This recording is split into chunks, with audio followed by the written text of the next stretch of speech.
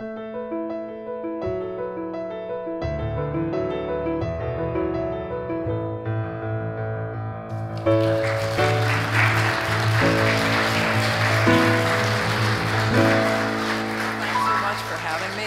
I hope I don't make you too hungry. Uh, I should have brought cream so you could make butter and we could at least have biscuits. Anyway, I'm going to try to talk and also look at my slides at the same time. So I'm going to be talking about foods on, eating, and preserving in early Whatcom County. So uh, we were a wilderness, but our Coast Salish community knew what exactly we had out here. It was bounty from the sea with mussels and clams and salmon, and a bounty from the land. This is wapato growing. This is camas. This is the bulb. And also, in addition to deer, you'd have things like elk and anything that was small that you could catch. And they also were well known for their flyways. Ducks weren't just the only things they had, they had uh, the geese that came down uh, periodically. So when explorers came, which is really beginning about the first sighting was 1776, I believe, with Cook, but when Vancouver came in 1792, uh, they were contacting native people, they're trading. They hunted and fished for fresh food, but they also were um, trading for whatever they get, probably trading for salmon and stuff like that. But most of their stores came from pretty far away. They came from England. Uh, one of the first Hudson Bay companies in our area, it's the closest one to us. It's the one that's up at uh, Fort Langley. It was established in 1827. And uh, it's the closest to us. They grew food. Uh, the communities were from, the commodities were from England. But the most interesting thing, one of the first exports they ever sent out from there was salmon. Salted salmon sent to Hawaii uh, to the Sandwich Islands, it was called back then, and as the basis for Lomi Lomi salmon today. It became a huge hit, and they could never get enough salmon in Hawaii. Uh, later on, uh, Hudson Bay Company came to Fort Victoria. They had been on Vancouver's Island for many years, but uh, they came and established. And it was a very important trading post. Um, it, it was working in conjunction with Fort Nisqually, but um, the main important thing is that by 1852 on, looking at um, imports and stuff like that to Victoria, a lot of stuff's coming from San Francisco. So we became a territory in 1852, and actually people were already coming up what they call the Cowlitz, Cowlitz Corridor, coming up along the Cowlitz River and then cutting over to Rutschli. I think Richmond is the area, and went on up to the area. So little farms were sprouting up around um, Olympia, Tumwater, and all that. So getting up into our area, 1851 was a big time in San Francisco, and it's really what the reason why the mill ended up on our creek. And uh, I think it was June 51 was the first fire. They had a total of three. And the first one cost about $5 million, which is about $15 million in today's money.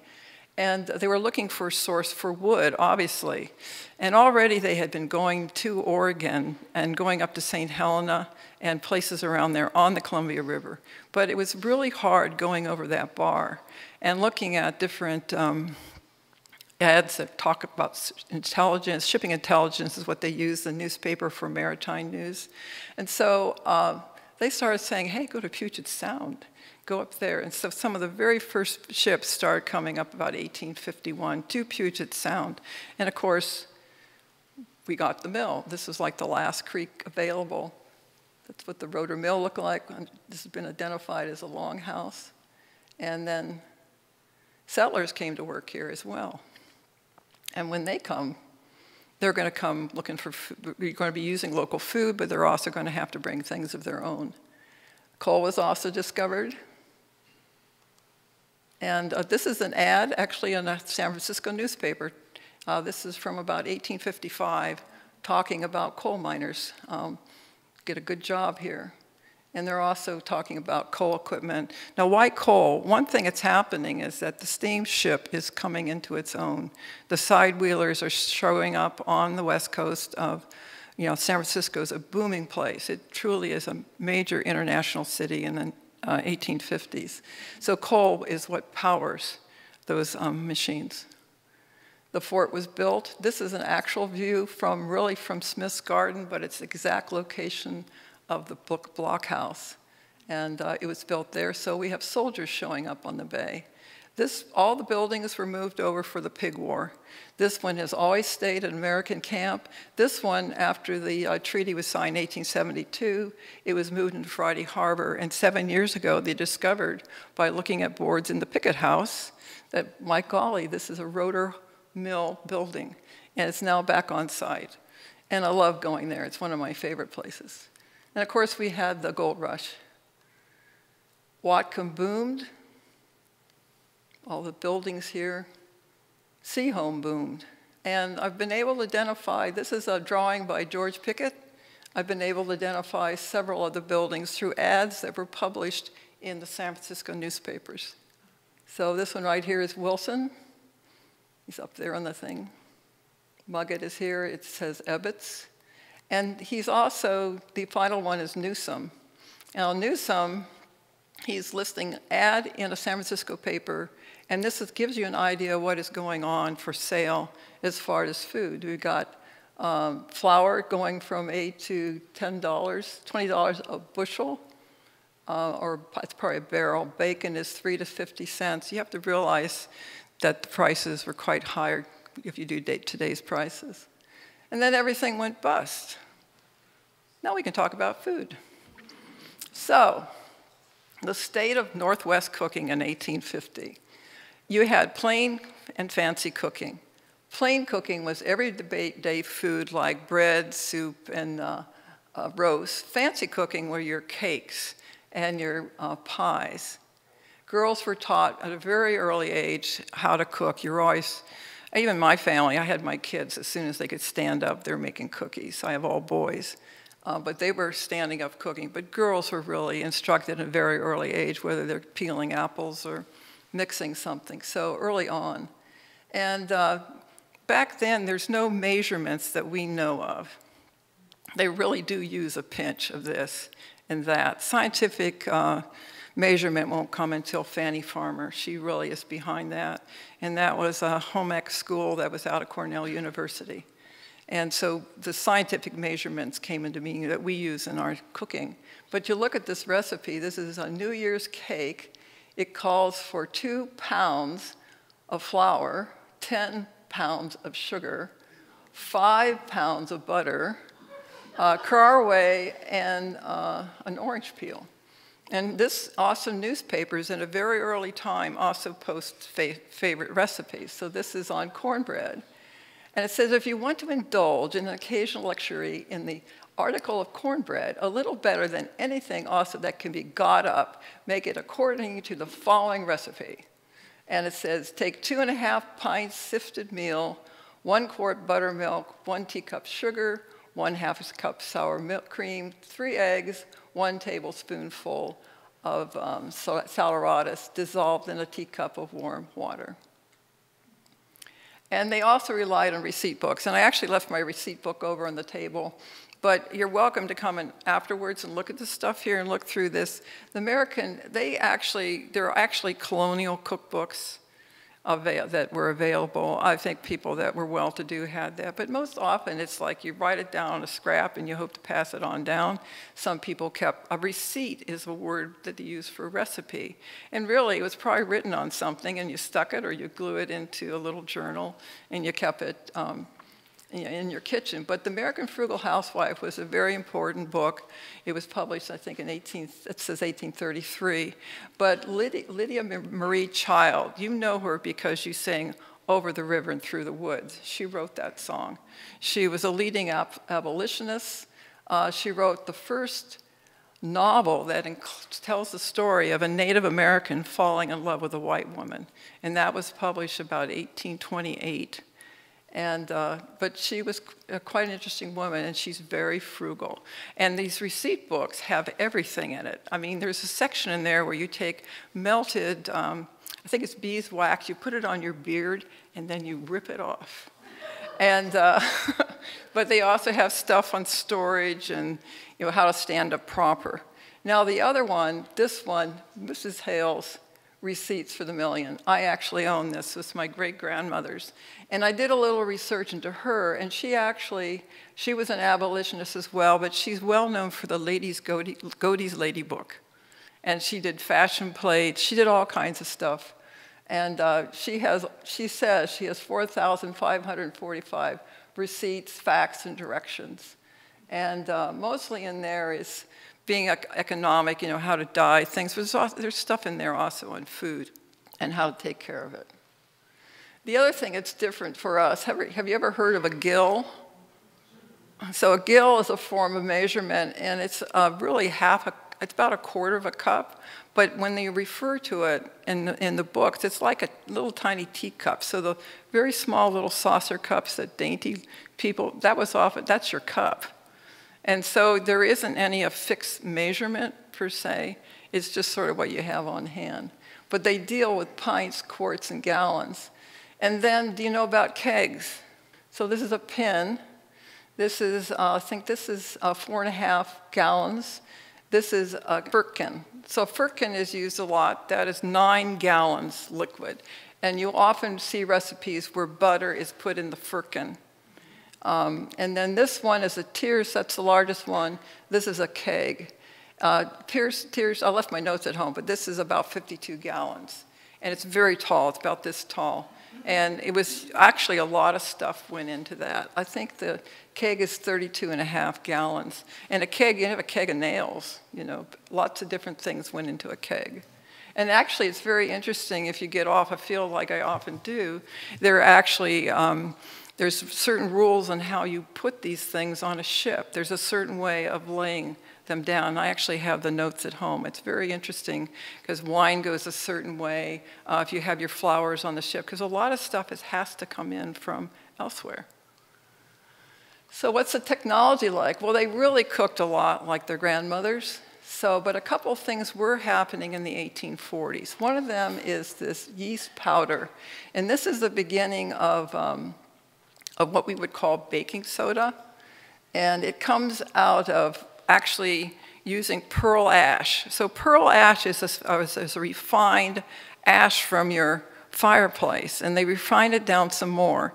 And then they add, I think it's carbonic acid. Again, I'm without my notes, but they found that this, um, this particular thing reacted very well and would cause a leavening. Most of the stuff is using natural yeast. Uh, you capture it in your um, in your kitchen. Actually, when I worked at the Bellingham School District, my co-partner's grandmother was like 84, and she was born and raised and lived in the house that she was born in until she died. And when my friend went down to Oregon to help clean out the farmhouse, her, we used her sourdough at the conservation site when we made our biscuits with the third graders, and uh, he discovered that she had a jar over by the window by her stove. And the interesting thing about this um, yeast, it belongs to us. Our yeast that is living in our house, if you make your own uh, rising dough at the house, it's your fam it re it's related to you. And we always thought that her sourdough was the finest wheat I've ever used. I had one that was like 121 years old from Idaho, and it was very smooth. But it's, that's an interesting thing. So they would capture naturally uh, in the house. And so the funny part about this, talk about ads, people going, so they were worried about this. They had aluminum and ammonia in it. And so some people did not like the idea, oh, you're using, you gotta use pearl ash. My pearl ash is the finest in the world. Don't use this stuff. So actually, this early um, baking powder did not get fully used until the 1880s because of ad campaigns. Uh, these are lucifers, and these are early matches. They were also called congreves. They came around about 1827. And in the 1840s, they cost about 25 cents for a dozen. So you want to be careful that you use one match to light your fire. But they also used the flint steel too. But this was, having these were important. And the final thing is saleratus. And saleratus is a much stronger version of baking soda. And originally, um, they used it for, I had a process. They first used it again from ashes, but eventually they found they could get the same results from sea salt and marine plants. Uh, and uh, I don't know how we make ours today, but it's, um, it's potassium uh, potassium chloride, I think is the correct uh, word for it. So women in this time were cooking in open fireplaces most places. Um, very often you kept the kitchen not attached to your house. And I can't remember, Phoebe uh, Judson up in uh, Lynden, I think she had a separated kitchen because there's always a danger of it catching on fire. Um, and these are all important tools, um, little three-legged thing here. Uh, this fire, I think, is down, uh, down actually at Fort Vancouver. And over here is an oven that's built in. And this is how we cook the food at the conservation site. We use green alder, and uh, that was the outside part. We use good wood on the inside because it bakes down to the best coals. When you're working with Dutch ovens, you get the best coals that way. We did coffee, used to do coffee uh, lattes because we churned, um, made our own ice cream out there. So I always treated the parents to pioneer lattes. Um, but it's quite a process, and I'm very proud of myself. I can get a lid off with all the coals on it to put stuff in. You have to heat it. It is an oven, so you heat it on the bottom and you heat it on the top. And this type of cooking, I mean, they use this well into the Depression. And it's very handy. A lot of people like to use it now. Take it camping and just do a fire, and you can do all kinds of stuff. This is one of our meals out at uh, English Camp. We have a big gathering every year. Food is yummy. But a new technology showed up. And this is what started showing up in the 1840s. Actually, sea captains were always able to cook food. Everybody else had to eat cold stuff. Um, but the, he always had some kind of a stove on, on a ship, so they had heat. And actually, one of the first stoves, that Mrs. Whitman got it over at their mission over in near Walla Walla. And uh, it, was a it was a ship's captain's stove. But if you'll notice, there is no oven. This is called a step stove, and uh, you, everything is on top. The firewood goes underneath, but boy, did everybody want this.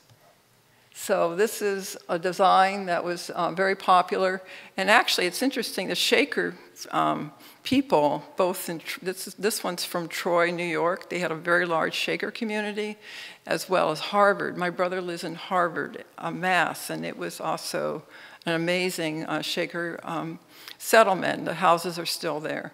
And uh, I saw actually a replica of this there in one of the houses that was restored. But this thing just was, was life-saving. You know, women with their long skirts like I'm wearing, often their skirts caught on fire when you work around. And actually, my first time I ever went out to um, English camp to demonstrate, it was at American camp. There was a high wind warning. We had to call the sheriff of San Juan County, you know, Island, to make sure we could set up our, our out there. And I'm out there and the wind is blowing and I'm leaning over to pick up my, my Dutch oven and my apron was just flying all over the place. So um, I could see how it could be really a big danger uh, to um, be wearing, so this stove was a huge thing, and it is the most important thing. The other great invention for women in the kitchen was the Dover egg beater. That's all we got in the 19th century, but the stove and the Dover egg beater. So ads started showing up. This is actually one that was in an, an Oregon newspaper.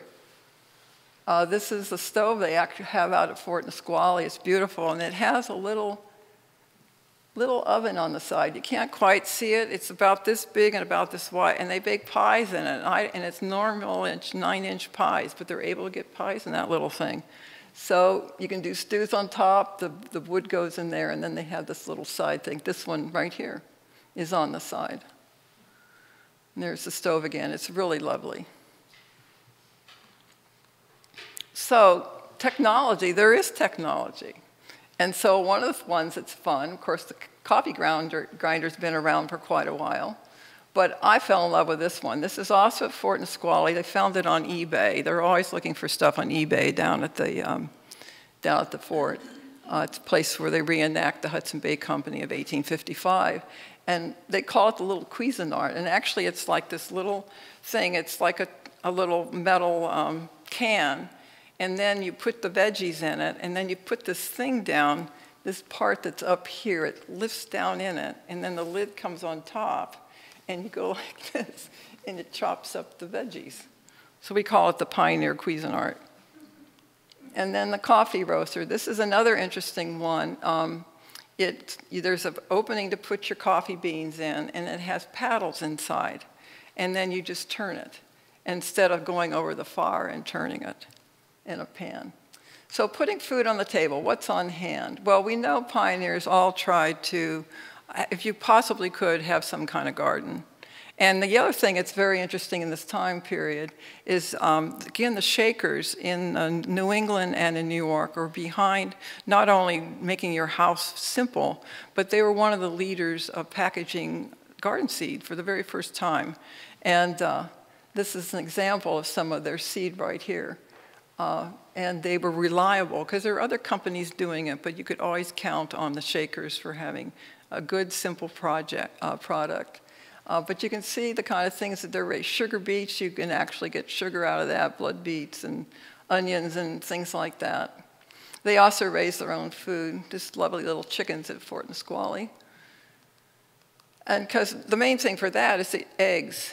You can only have, you may not eat your chicken that often. You know, you didn't have a chicken in every pot back then. You carefully took care of your animals, and maybe you only, when there was a big occasion, you might actually kill the, you know, the chicken to eat it. But the eggs were very, very important. And uh, of course, the, the cow is very important. This is what they call a it's a Devon milking cow. It was one of the most popular breeds from the colonial period. It's actually the first breed brought over from England in 1626 is when it came over. And uh, it's a three-in-one animal. The, um, the oxen, the males, when they were castrated, they, they were the best oxen because they were very gentle in temperament. And also had good enough beef so you can have beef. And then you could milk it as well and they preserve food. Now, the interesting thing in looking at some of the stories of pioneers, they did trade with the coastal people, like the people on the bay were trading with Lummi and Nooksack. But they didn't often try the foods that they were eating. Uh, like they, there is a kind of a camas flour uh, and things that the, the Coast Salish people did. But they didn't really want to try their food, but they did often buy berries and uh, salmon from them. And they might even go ahead and buy already smoked salmon from them. But often they learned how to do that themselves. And then they're, they, you know, they're drying stuff. So often houses, you'd have strings around the fire with apples that have been cored and hanging up to dry. It almost sounds like they go to the co-op or something like that because, you know, we're really into drying food and stuff like that. But that actually was a very serious part of preserving food back then. This is a good one for sauerkraut. Sauerkraut was popular, cabbage and brine. And sausage. And storing food. Um, some of the early accounts, they're mostly down at Tumwater and a little south in there, they had spring. Having a spring house by a creek, there's a way of diverting the water in and you can chill your butter and and milk and stuff like that in there. But we also have quirky creeks that overflow. Like I think we're going to have major flooding in the next couple of days. You know, so I don't know if a spring house is very reliable in some of the Whatcom and Skagit County areas. So a lot of them they use a root cellar, and I wonder if this is the one. You know, Phoebe Judson describes her very well. It was like a log structure. They hung. Um, canvas and the um, the um, whitewash they used back then is actually buttermilk and lime mixed together. That's what whitewash is. And then we spread it all over the canvas to keep the walls clean. She gives a description in that. And I know it's logged frame, but I wonder if it's more like this one, where it's structures put there, put the roof on, then you pile the dirt over the top. Uh, often root cellars were just part of the house. And I think one of the cabins out at uh, Pioneer Park I think when they moved that cabin there, I can't remember, I think it's a stagecoach one, um, they, that one actually had a, a, root cellar. They didn't put it back in there when they moved it to the park. But I've been in one over in eastern Washington, and uh, the house was built much later, like in the 1890s. But you step down into this very tiny space, but it's like a refrigerator. And actually, 44 degrees and left is just about what a refrigerator should be at. And the root cellars are just like that. And then this is really fun because you could probably spend about 35 bucks for one of these now. But they're taking a flower pot, size to cover the butter plate, and also saucer large enough for the flower pot to rest upside down. Essentially, they're building that French thing where you put, the, you put your butter in, and then you uh, put the uh, turn it upside down with water in it, and you can keep it. It's the same thing, but they're using a, a, flower pot. And this, if you'll notice, is in Scientific America. Scientific America came around about 1850 or earlier. I grew up on it because my father was a physicist. But back then, they often ran information like this to help people uh, get some science to make sure their food is preserved right. They've had stuff in there on how to build your own wind, uh, windmill and things like that. So it's surprising that you'd find in a science magazine that's talking about scientific patents, but they also had stuff for the, the things to do. But often, you know, you don't often get what you want from what you make. You have to go shopping. And this is the one down at Fort Nisqually. But many, many of these, um, over time, as soon as little communities came together, there was always someone enterprising would order extra and maybe they're doing it out of their cabin or they actually build a structure. But the items they want the most were sugar, flour, coffee, and tea. And if you look at this little illustration, it's right there, coffee, flour, tea, and here's your sugar in a sugar cone. So it came in a cone about this tall. Some of them, depending on the poundage, some could be this tall. And actually, I saw on the Antiques Roadshow uh, they had a device that was, I think it was from the South, but there were drawer. It was a sugar safe. Sugar was so valuable, they had to lock it up. And when you pulled it out, it had holes in there that you could stick the cone down into it. And, uh, and then you would lock it up at night. Uh, a lot of the goods came mostly from San Francisco. A lot of people went to Victoria to go shopping. So stuff from San Francisco is coming up by ship to uh, supply. And the Sehome mine had a store. And um, you know, a lot of different places had little stores, but people seemed to go to Victoria a lot. It was easy to get over there. And where did you go shopping? Well, there's us right there, and there's Victoria right there. Port Townsend's down that away, and the Fraser River is up here. So the stuff that's coming from San Francisco, it is pretty astonishing. This is an ad from uh, this is from 1857, I think I found this one. But look what's on this. We've got everything's in a can. We've got apples and uh, brandy fruits and natural preserves in cans. The vegetables, asparagus, green beans, corn and beans. And I don't really know about their canning practices back then, but you know, there's no law that's going to keep up on your, until someone got deathly ill, then maybe someone might make an inquiry about something, uh, someone's product. But, and a lot of this stuff I think came around the horn, came from long distances uh, to here. Uh, the sundries are, oh, here's a lot of pickles, but they have mock turtle soup. But it gives you an idea of what is happening in San Francisco. And this is very interesting. This is also, this is from 1858 uh, San Francisco newspaper, but they have soda water and they're making ice cream, you know. So the stuff that's very sophisticated food happening down in San Francisco, be kind of hard to find it up here um, with what we have. They also had preserved milk. Um, and the term uh, crushed sugar, I'll talk about that in a bit. But which milk is used? It's simply pure milk and sugar. The tablet weighs one pound and is equal to five pounds of pure milk and they're talking about the whalers because they're heading off to Maui. It's going to last you 18 months. And there's stuff also in Port Townsend. This is Port Townsend in June 1858. The same person that sketched the city of Whatcom was also in, he's done two views of Townsend. And this is Victoria. This is a Victoria ad, uh, groceries and provisions. We've got 100 pounds of golden cake flour. I think they spelled it wrong there.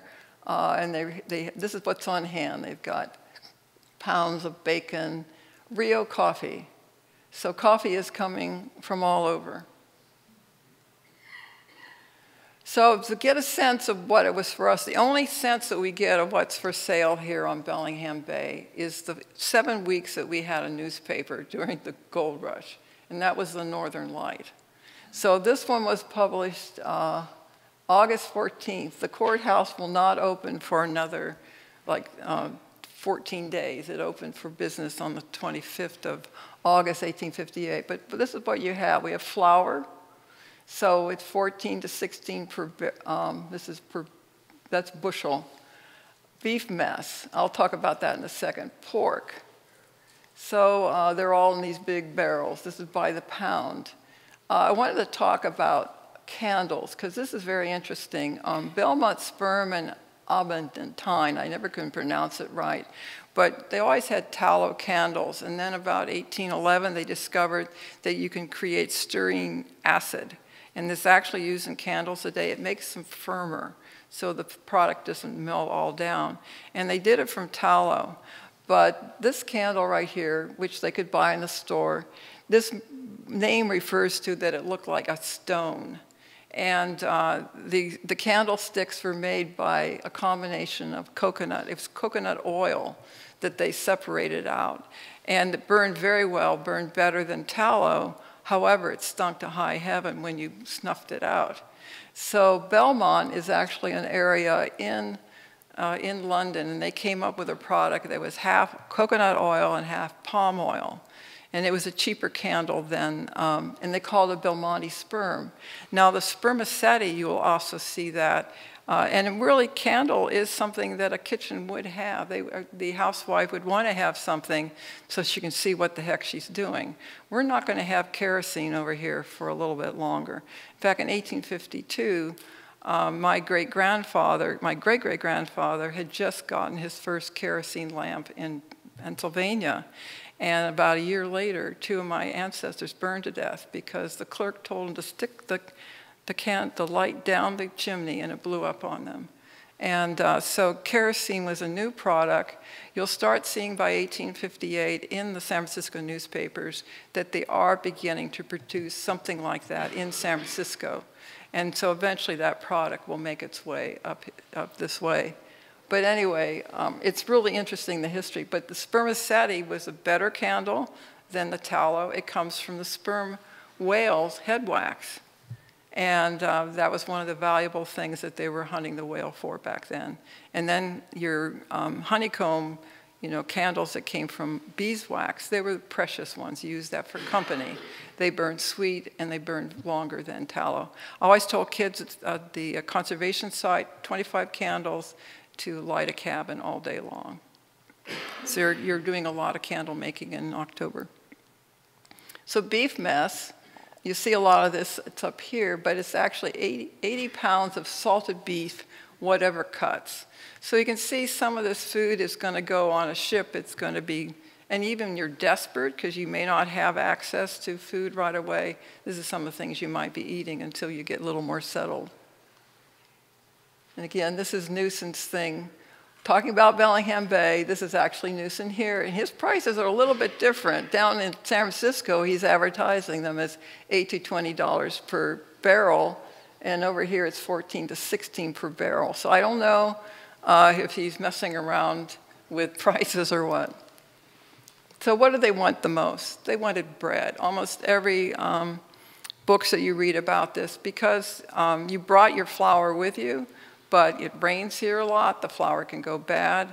And it took, uh, on the average of three years, to get the wheat going enough that you have enough seed to plant again, have enough seed to, um, you know, grind the flour into wheat. And so for that, you do need wheat to make bread. So the wheat is, they brought the seeds in, this was sold, and, but they could order. They actually, again, had seed catalogs that you could order seeds.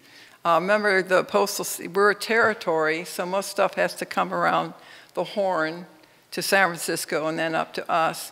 There is a train going across the isthmus in 1855, March 1855. So something, a ship could bring you, this is mostly for passengers, put you on the train on the the Caribbean side of, the, of South, Central America, and then you go across the isthmus, and then you get on another ship to go up to San Francisco. And they could possibly be putting goods on it, but mostly it was a passenger thing. But you got your seeds, you planted them. And the first mills that we had here, um, the first ones were down in the Tumwater area because actually they started settling there before we really became a territory. They were already coming up in that area. And St. Helens had the first steam flour mill. St. Helens is down in Oregon. So the interesting thing about the bread, we, you know, I suddenly was like reviewing my slides. I forgot, you know, that flour sifter we have in our house. That's an important tool we, we really take for granted.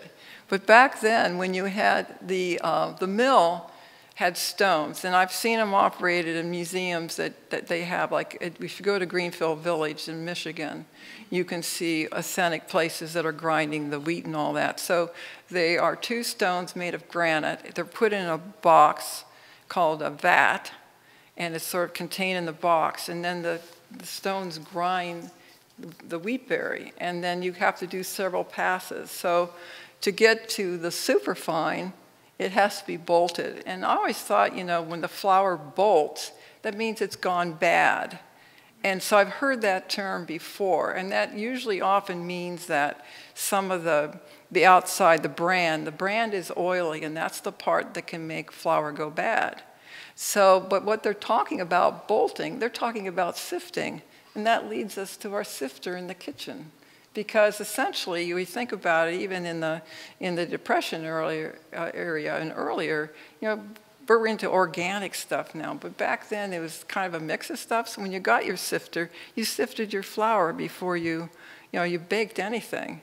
And uh, so these are uh, they could buy this cloth. It was some of them are described as being made out of silk and you'd have a top one and a bottom one so if this is this is a pair that you would have at home you get your flour, and I'll show you what they had in the house.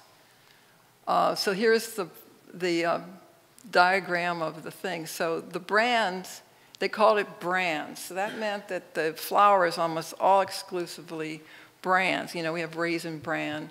Uh, a lot of people, health food people, really got into bran muffins and all that stuff. But that's that part of the piece right in here. So the brand is right in here. And it's taken away when you work on the, you know, when you're grinding it. And we put those in muffins. But back then, that was like the least desirable. The next one was the middlings. That was better than having a white flour super fine. And that just meant that the um, endosperm and the bran are together. So that's the inside, the, the uh, bran is in there. But the shorts, a lot of them had to work with the shorts. So you'll see people complaining in letters that, you know, mama made a bread and all we had was short. So they kind of worked through what they had on hand. So um, often they had to use a coffee grinder. And so they'll get, they'll buy it from whoever in the community has, you know, the, uh, the uh, wheat to grind, and they did it in the coffee. They would have one for coffee, and they'd have one for uh, grinding your wheat. And of course, it's not going to be really good grind things. You'd have to run it several times through it. Uh, if you, you can tighten the, the coffee grinder, you can do it on mine. This one doesn't do it. That's not a, I have an authentic one at home, but um, you can tighten the gears inside. But a lot of people use this. This is called a quern. And about 20 years ago, they found a quern out near Lynden. And I can remember some of my friends getting really excited. I don't know where it is, but what it is, it's two granite stones. There's a hole right there that you put the grain in through.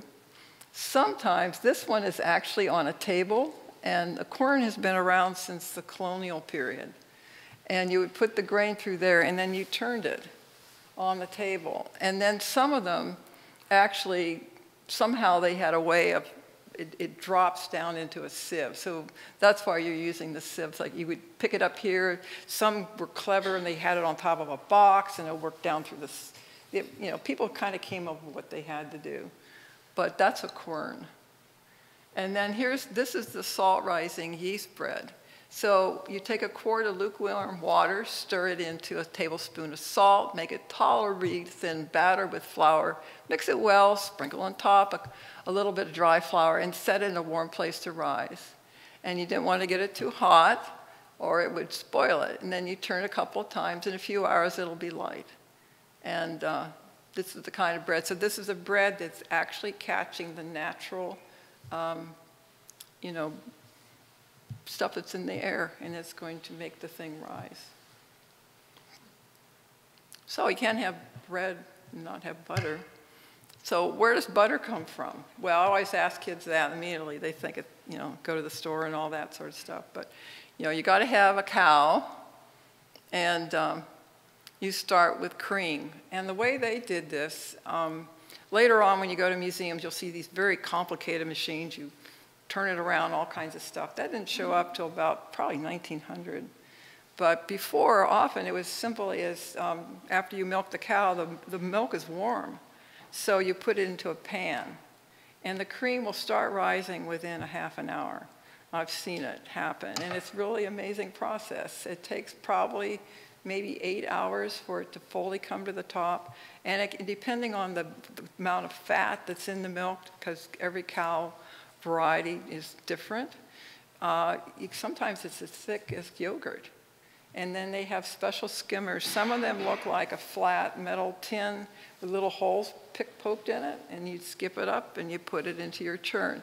Now, it's interesting because I had an interesting conversation a couple years ago when I was demonstrating out at English camp, and we had an Indian woman come down from Canada, and we started talking about ghee because there's a different process. It's almost like churning sour cream. They let the cream go sour, then they churn it. Uh, what we did is that they did keep, sometimes they'd only churn once a week. So you put all the cream, separate it, put it in a jar or crock down in the root cellar, and then at the end of the week you would start um, churning it. So I have a glass churn over here. I use this all the time with kids, and we make some pretty darn good butter. Uh, it could be wooden, it could be a crock. Uh, I like to use the glass because you can see what's happening inside. This is looking down into one of my churns. We have gotten buttermilk and butter. And some people are astonished that that's where buttermilk comes from. You're literally separating the fat from the liquid. And my mom used to tell me all the time when I was growing up, her favorite thing was buttermilk. And of course, the buttermilk that we had at home was this ugly stuff you got at the store. But when you drink real butter, buttermilk that you've made from your own butter, it's very rich and velvety and it's quite delicious. So I can see her drinking it cold on a very hot day in Idaho where she grew up. The other step people are astonished, you have to wash the butter. You just can't put it on your bread. It's going to go bad. And a lot of the stuff that's in museums, they think they're looking at a a bread bowl or something like that, you're actually looking at a butter bowl.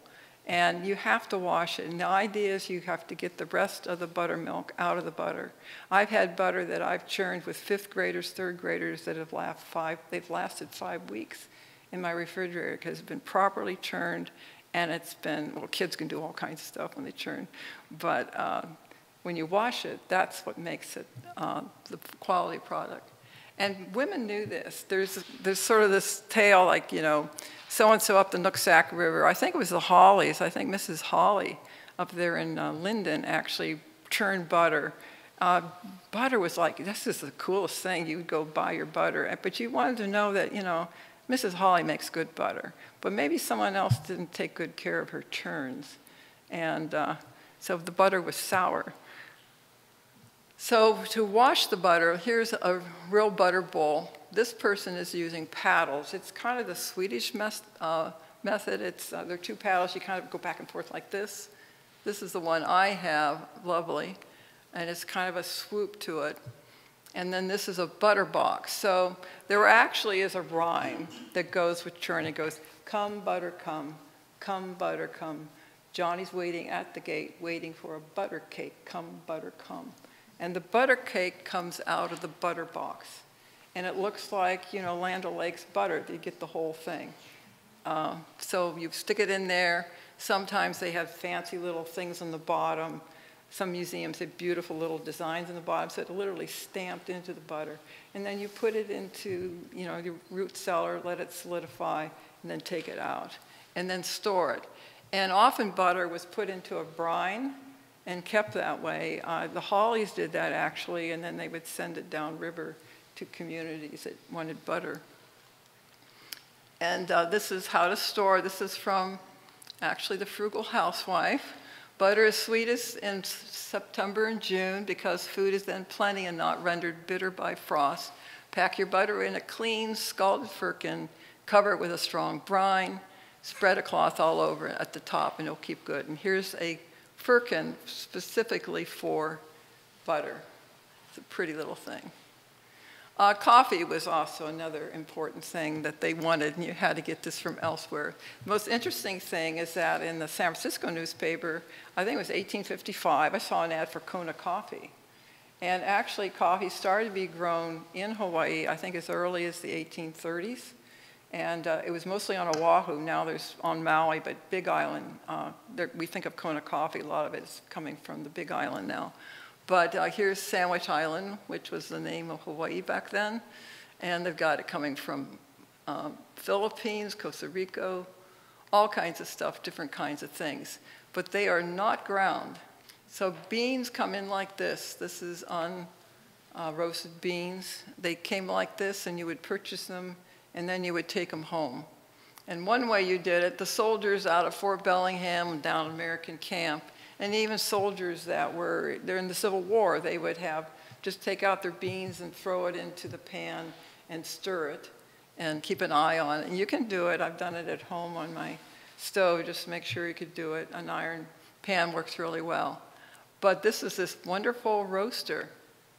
Uh, you stuck the beans in there, close the lid, and you just turn it. And the paddles will evenly turn, turn it for you instead of being over here over a fire trying to make it. And then of course, the coffee grinder. Another item that people don't understand is sugar. And sugar was highly um, desired because molasses is kind of like the first step in fine sugar, but having a cone like this of, uh, of sugar. So what happens is that this is a machine that crushes the sugar. First the cane gets crushed, and then they boil it down to the first stage, which is molasses, and then there's another stage where um, it starts looks more and more like this. Often these cones, they would have the, uh, the dark on the bottom and the refined on the top, and they were set in molds uh, that gives it that cone shape. But crushing the sugar too, uh, I thought this was interesting because they talk about Chinese number one crush sugar. So uh, by the 1860s, it was becoming a place where you could get good crush was uh, prepared in such a way it was kind of broken down. It, had been, it was a little bit better than just uh, kind of throwing it into a mold. And they had all kinds of tools for it, uh, to just to cut little nips. Uh, and this is an, actually a cage to keep the, keep the flies off of it. And finally, I found this in my great grandmother's receipt book, and I just love it. So it says how to cook a husband. The first thing to be done is to catch him. Many a good husband is spoiled in the cooking. Some women let keep them in hot water, while others freeze them with a conjugal coldness. Some smother them with contention, and still others keep them in a pickle altogether. These women serve them with tongue sauce. Now, it is not to be supposed that husbands will be tender and good if treated this way. But they are, on the contrary, very delicious when managed as follows. Get a large jar called the jar of carefulness, which all good housewives have on hand. Place your husband in it, place him near the fire of conjugal love. Let the heat be constant. Cover him with spice of pleasantly. And if you add kisses and other confections, let them be accompanied with a sufficient portion of secrecy mixed with prudence and moderation.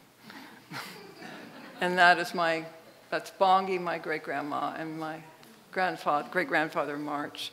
So that sort of ends my talk.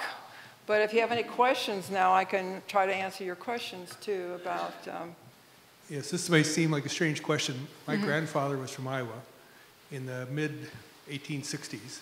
He tried finding gold twice and wasn't able to. But he learned something about the gold fields. So when gold was struck up in Montana, he took a wagon train from Iowa and went up to Montana, two wagons filled with eggs. And it took four months, no, I'm sorry, four weeks for him to get there. And somehow the eggs were fresh, and he made a fortune selling the eggs because the miners, that's the one thing they didn't have. You mentioned chickens. Mm-hmm. You need the eggs. They didn't have chickens because the settlers would eat the chickens along the way. Yeah. So I'm just curious if you have any idea how you could get eggs through. Well, they didn't how, have ice. But a lot of times there are, I've seen recipes for like preserving, um, they put it in hay, I think. Hay was one way of, of doing it. They might have even, the interesting thing is I found that they were sending clams from over on Shoal uh, Water down to uh, San Francisco fresh. And then on board they had actually fresh uh, salt water. They pumped it through the ship and they kept the clams that way. So, and I think they also had mussels that way. So I have seen like make your own kind of cooler using hay, and they must have had some way of containing the eggs so they wouldn't move around. And then, uh, you know, eggs can, I've been told that, um, this is an interesting fact too, that in Europe you do not put your eggs in the refrigerator.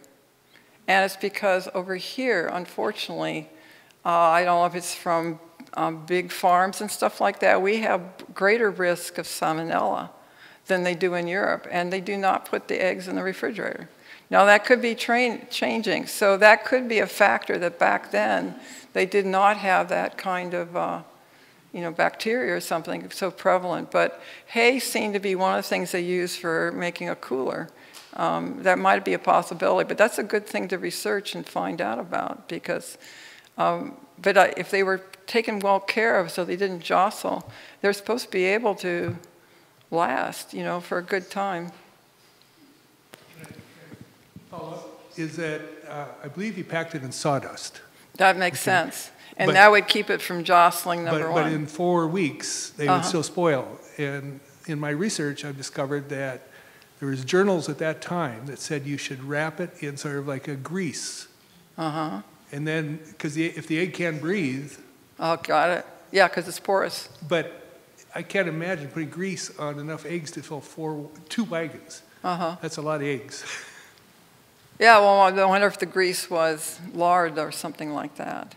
So it said it's interesting you could put uh, lard into a tin, but you were not to put butter in a tin. So that's kind of interesting that that's often how you bought your butter. but they recommended lard in a tin and something wooden or crock for, uh, for butter. That's interesting.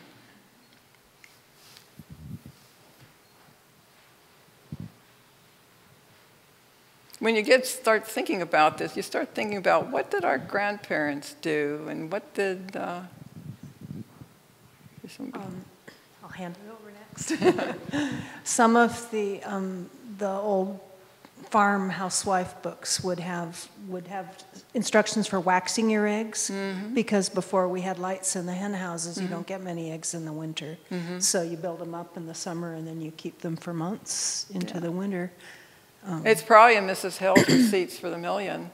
Pardon? It's, it's, probably in Mrs. Hale's receipts for the million. Quite likely, yeah. Because it's so probably receipt 3100. thing might have been something yeah. that She do. does have tips in there about yeah. preserving things, but that makes sense because it's yeah. porous.